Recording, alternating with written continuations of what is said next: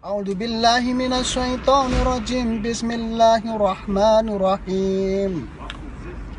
فضربنا على آذانهم في الكهف سنين عددا ثم بعثناهم لنعلم أي الحزبين أحصى لما لبثوا أمدا.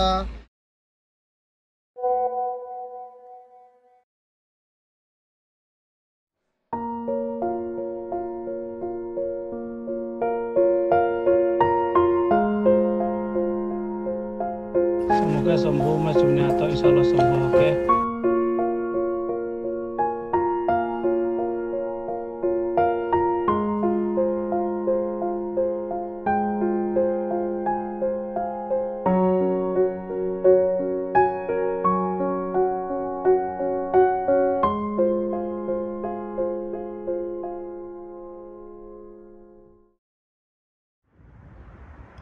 Mas Zunianto itu adalah koordinator utama uh, sholat Jumat ya. Yang mana dia yang harus mengatur uh, semua khotib pembicara sholat Jumat. Beliau juga yang harus mengatur uh, karena ini masih masa pandemik di masjid itu harus mengatur volunteer untuk checkpointnya yang mengatur traffic uh, apa parkiran.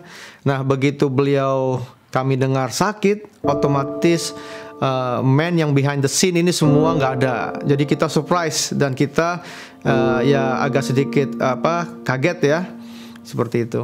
Akhirnya dibawa ke rumah sakit. Pada saat itu dibawa ke Marion Hospital karena beliau ada sesak napas. Nah, akhirnya pas sampai di sana istrinya kena. kasus Masun itu em, apa namanya memang agak berat dibandingkan yang lain gitu ya karena kita tahu kan Mbak Umi juga eh, terjangkit ya COVID gitu. Jadi eh, kita memikirkan waktu itu kalau misalnya Mas Jun sakit, Mbak Umi sakit, anak-anak gimana? Mm, pada saat itu memang se- semakin menurun kondisinya Mbak Umi. Lalu Mas Arief menyarankan Jasmine untuk melakukan 911. Tapi Mbak Umi bersikeras untuk tidak pergi ke rumah sakit. Lalu kami, eh, Mas Arief eh, berusaha meyakinkan eh, Mbak Umi kalau anak-anak insya Allah tidak akan ada apa-apa, tidak akan terjadi apa-apa dengan anak-anak. Jadi singkat cerita Jasmine eh, diarahkan oleh Mas Arif bagaimana cara untuk menelpon 911 em, untuk menceritakan keadaan ibunya seperti apa sampai akhirnya datanglah ambulans. Pada saat eh, hari yang sama di situ di mana Mas Junianto itu eh, hilang kontak dengan saya, lost kontak dan esok harinya itu dokter sudah eh, call ke saya bahwa kondisi Mas eh, Junianto makin memburuk dan sudah perlu eh, bantuan nafas. Dokter selalu eh, mengupdate ke kami bahwa eh, ya tidak ada perbaikan apa-apa, tidak ada perubahan apa-apa, tidak perubahan yang signifikan dan itu sudah kondisinya di apa setengah dibius gitu ya sampai pada satu hari itu tanggal eh, 12 eh, Januari itu sore saya ingat sekitar jam setengah lima sore eh, main dokternya itu telepon saya mengatakan bahwa em, eh, kemungkinannya saat itu pada saat itu tanggal 12 Jani- so- Januari sore jam setengah lima bahwa kemungkinan hidup eh, Junianto hanya satu persen.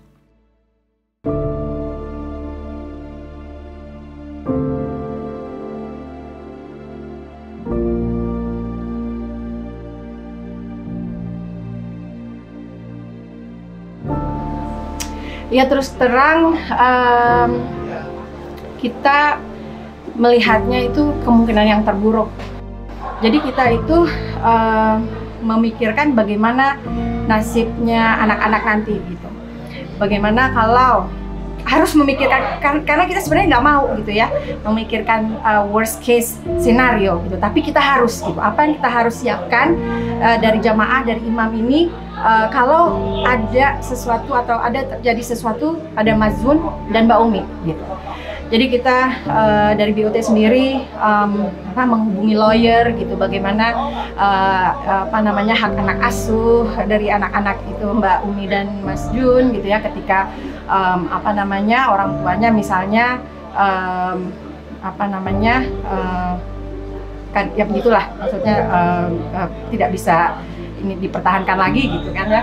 Uh, memang berat buat kami semua gitu ya. Uh, tapi itu yang salah satu hal terberat yang harus kami pikirkan gitu ya. Saat dokter bilang dia hanya kesem, uh, kesembuhannya 100% kami pengurus langsung membuat surat wasiat. Saya salah satunya yang menandatangani. Jadi di situ dituliskan kalau ada sesuatu yang tidak diinginkan kita sudah persiapkan semuanya yang bertanggung jawab serah anak anaknya siapa terhadap keluarganya siapa jadi kami pengurus sudah ambil step itu Ya Allah, bila di antara kami ada yang sakit, maka sembuhkanlah ya Allah. Sembuhkanlah di antaranya terkhusus kepada saudara kami, Mas Junianto dan Mbak Umi, sekeluarga, anak-anaknya, ya Allah. Berikanlah kesembuhan kepada beliau, ya Allah. Berikanlah kekuatan fisik kepadanya, ya Allah. Amin. Allah, kembalikanlah kepada keluarganya, ya Allah. Jadikanlah, ya Allah, dosa-dosanya itu menghilang, engkau hilangkan, kemudian juga derajatnya yang tinggi, ya Allah, di sisimu, ya Allah.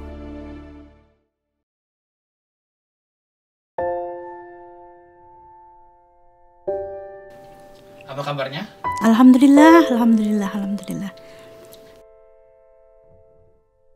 2021 kami dapat musibah.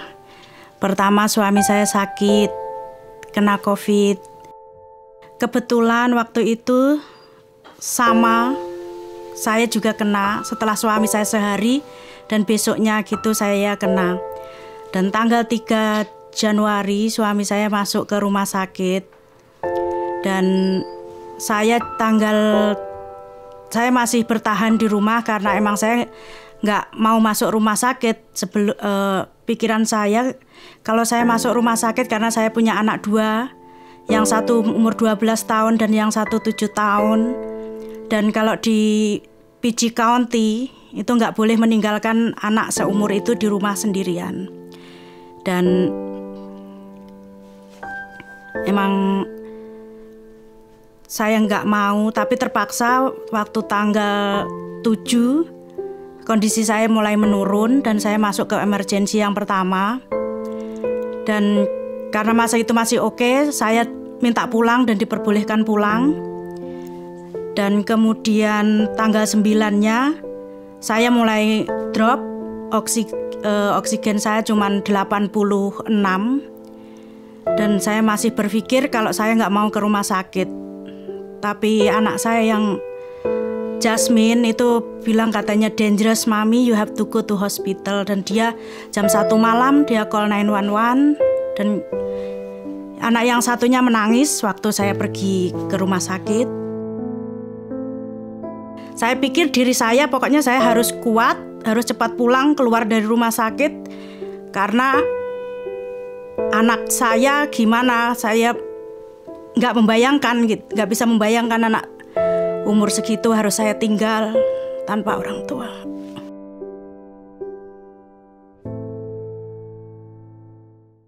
dengan kondisi Mas Zun dan Mbak Umi yang dua-duanya ada di rumah sakit apa yang dilakukan tim COVID Imam untuk Jasmine dan Jana? Uh, kami sepakat untuk menyuplai apa saja yang dibutuhkan oleh dua anak ini Jasmine dan Jana karena mereka ketika Mbak Umi dan Mas Jun ada di rumah sakit mereka um, bisa dikatakan berdua sendirian di rumah gitu tidak um, tidak ada yang bisa diandalkan untuk uh, me merawat anak uh, dua anak ini. Jadi saya mem saya diminta untuk memonitor dari jauh. Pada saat itu alhamdulillah anaknya Jasmine masih bisa komunikasi. Jadi pada saat makanan sudah penuh atau nggak ada dia mau makan apa kita bisa kontek-kontekan. Jadi uh, kami memonitor dari jauh apa yang mereka butuhkan, lalu apa uh, kegiatan mereka di dalam gitu. Ya tapi ya namanya anak-anak ya Mbak. Um, ketika ditanya apa kabarnya baik gitu jadi singkat aja gitu jadi harus dikorek-korek dulu um, mereka baru mau uh, apa bercerita gitu butuh apa uh, perlu apa dan sebagainya pada saat itu masyarakat menyumbangkan makanan jadi makanan menumpuk di depan pintu Jadi waktu itu memang uh, saya lihat di depan tuh ada beras. Ada beras, itu aja berat. Akhirnya beras saya angkat, semua saya bersihin rumah, jangan sampai menarik perhatian orang. Jangan sampai sepertinya orang nggak ada di dalam. Karena pas waktu saya periksa juga ada uang di situ. Jadi uh, saya berinisiatif mengambil barang itu semua, lalu kita kita hold, lalu kita sumbangin makanan. Tiap pagi sore kita bergantian kita semua makanan sampai minuman obat segala macam tidak numpuk di situ. Jadi akhirnya uh, approaching saya approaching kami salah satunya adalah melalui makanan. Jadi melalui makanan itu pula um, apa namanya kami bisa uh, berkomunikasi lebih baik dengan anak-anak. Jadi uh, ketika anak-anak itu mau uh, mau makan sesuatu uh, menu gitu jadi saya akan memesan lalu uh, mendrop makanan tersebut di depan rumahnya. Apa yang mereka mau uh, saya berusaha untuk menuruti. Lebih banyak sih uh, just uh, Jannah yang yang uh, ingin sesuatu gitu. Misalnya Jannah uh, bunda uh, saya mau ini bunda saya mau itu. Saya berusaha me, uh, membeli apa yang dimaui uh, oleh Jana pada saat itu. Gitu. um, dan dengan tujuan supaya uh, tidak terlalu sedih. Uh, Jana tidak terlalu sedih pada saat itu saya bisa ngubungi Jasmine, saya telepon, katanya, oh I'm okay mami. Masya Allah, saya bangga dengan dia, anak umur 12 tahun. Terus itu saya nanya ke Mas Arif gimana keadaan suami saya, tapi mereka bilangnya apakah Mbak Umi udah bisa menerima, bisa maksudnya udah bisa komunikasi dengan dokter, udah saya bilang saya siap. Apa pun yang terjadi pada suami saya, saya harus tahu. Karena dalam hati saya, saya yakin kalau suami saya bakal pulang keadaan sehat. Keadaan sehat dia akan pulang. Itu keyakinan saya. Saya 12 hari di rumah sakit, saya pulang. Kondisi saya pulang itu karena saya maksa. Karena saya memang punya story diabetes. Dan diabetes saya itu waktu di sana itu karena banyaknya obat yang masuk itu nggak bisa dideteksi. Jadi seharusnya saya pulang makan enak, makan sehat supaya kondisi saya cepat pulih. Tapi saya pulang harus straight diet, nggak boleh makan ini, nggak boleh makan itu, makanya tek lama sembuhnya saya recovery-nya. Sel saya selalu ngajak anak saya berdoa, sholat jamaah sama dia. Sebisa dia, dia bisa bahasa Inggris, gue suruh ngucapin bahasa Inggris untuk berdoa, mendoakan bapaknya. Pagi sore saya selalu zoom ke beliau dengan anak saya yang nomor dua. Pertama kali anak saya melihat bapaknya itu dua-duanya stres. Teriak, nangis karena melihat bapaknya belum bisa bergerak dengan dipenuhi dengan mesin kiri kanan belakang itu anak saya yang terutama yang gede itu teriak nangis tapi saya yakin dan percaya kalau Allah ngasih cobaan kepada umatnya. Kalau umatnya nggak kuat, nggak dikasih cobaan. Dan saya juga Alhamdulillah cobaan ini dikasih kepada saya. Saya tetap bersyukur apa pun yang terjadi. Dan saya mencoba untuk bersabar dan terus bersabar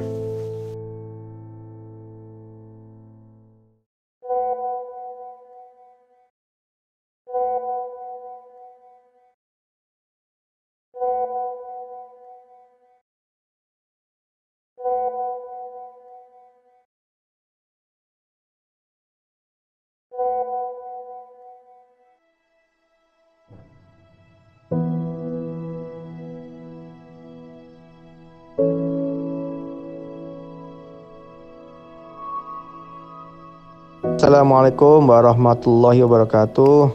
Uh, sekedar mau update kondisi terakhir Mas Zionyanto sampai jam 8 malam tadi. Uh, ada perkembangan yang sangat apa positif ya. Jadi uh, tadi nurse-nya uh, nyampaikan ternyata sudah dua hari ini uh, ECMO mesin ECMO untuk terapinya itu ternyata sudah di stop gitu. Jadi alhamdulillah jadi dua hari dalam dua hari terakhir ini proses oksigenisasi dari apa paru-paru itu untuk uh, mensuplai oksigen ke darah dan menyaring apa membuang karbon dioksidanya di dari darah itu sudah dilakukan oleh uh, paru-parunya langsung sendiri tanpa ada mesin ECMO lagi.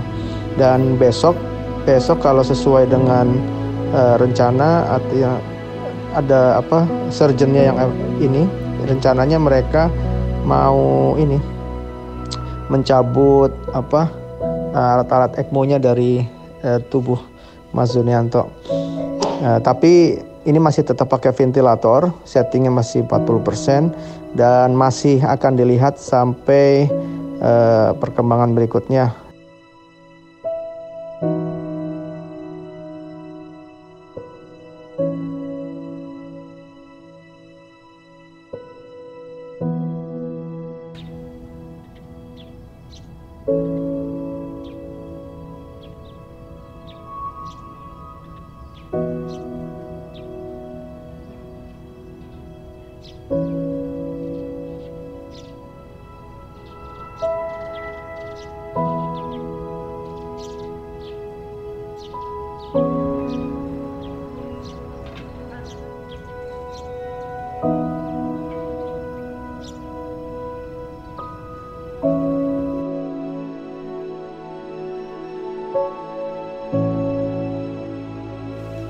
Kabarnya gimana?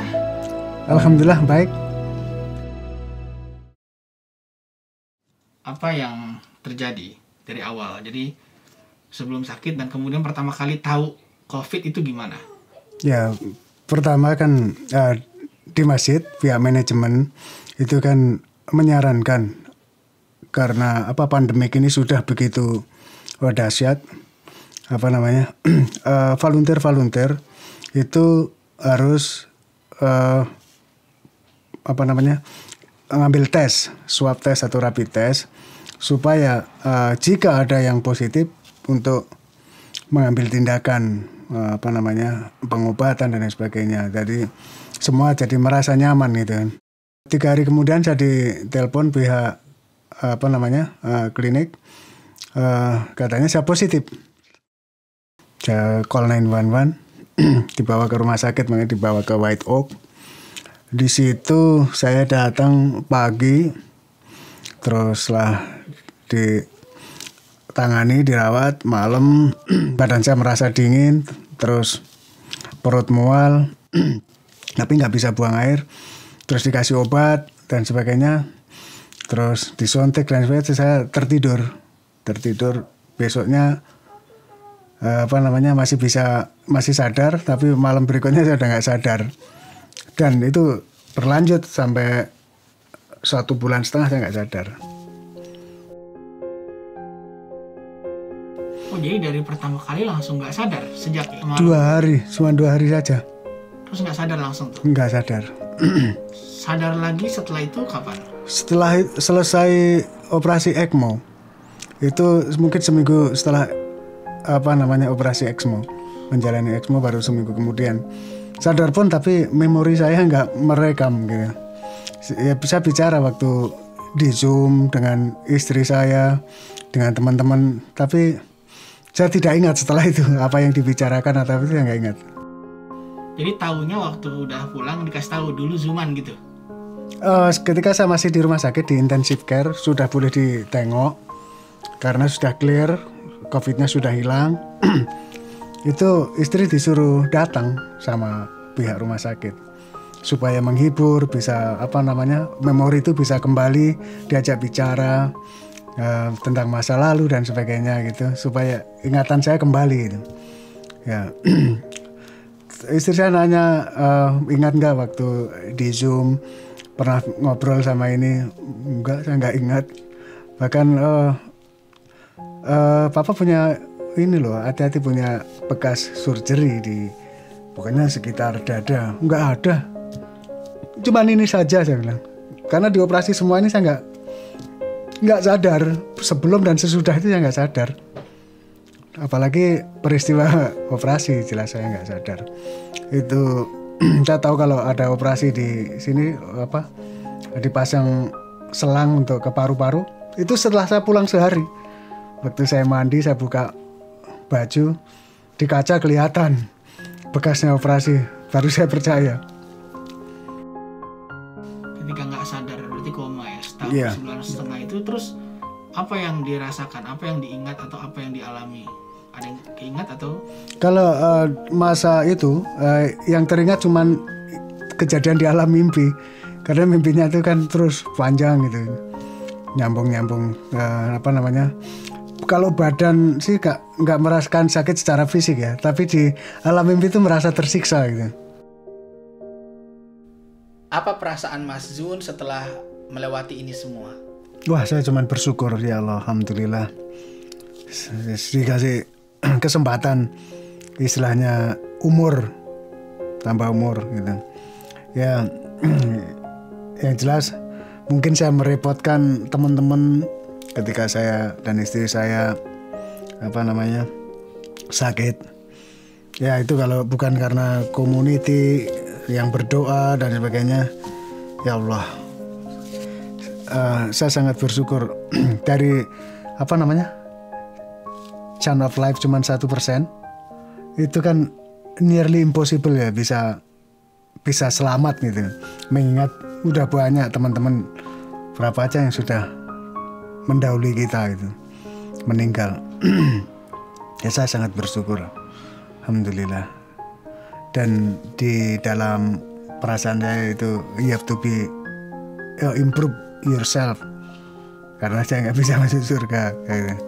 ya paling tidak saya harus menjadi umat Islam yang lebih baik lah dari segi agama itu. Yang jelas mungkin saya merepotkan teman-teman ketika saya dan istri saya apa namanya sakit. Ya itu kalau bukan karena community yang berdoa dan sebagainya ya Allah. Eh, mereka mensupport dari moral dan material. Misalnya ngasih makanan dan dana buat apa nyambung hidup kami. Dari organisasi, dari individu, dari masjid, dari luar masjid juga. Alhamdulillah, saya sangat berterima kasih.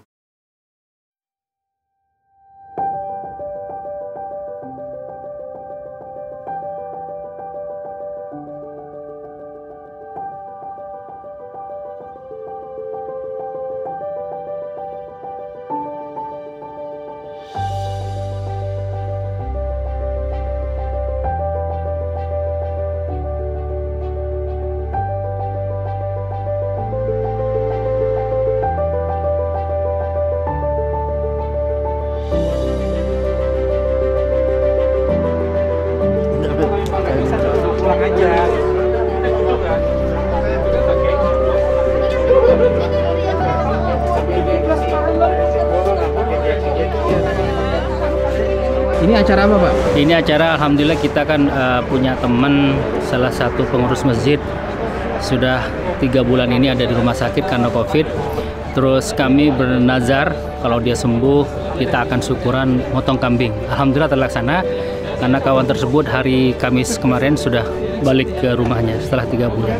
Nah, dengan, maka dengan itu kami sebagai teman-temannya eh, kita mengadakan syukuran buat beliau yang telah bi- eh, pulang dari rumah sakit sekarang sudah sangat kondisinya sangat membaik sekali. Insya Allah akan segera recovery secepatnya.